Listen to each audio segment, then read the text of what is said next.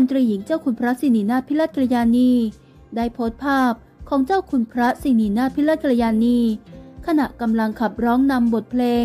ดวงเดือนของคุณโจอี้ภูวสิทธิ์ ผ่านวิดีทัศน์กำลังใจ ห่วงใย อย่าให้ทุกชีวิตต้องสูญเปล่า จากในหลวงร่วมกันต่อต้านยาเสพติด ชุดที่ 3 ซึ่งเผยแพร่ผ่านเว็บไซต์ หน่วยราชการในพระองค์ ในวันเสาร์ที่ 12 พฤศจิกายน ปี 2565 โดยก่อนหน้านี้ หน่วยราชการในพระองค์ ได้เผยแพร่วิดีทัศน์ก่อนหน้านี้ไปแล้ว 2วิดีทัศน์ อย่างไรก็ตาม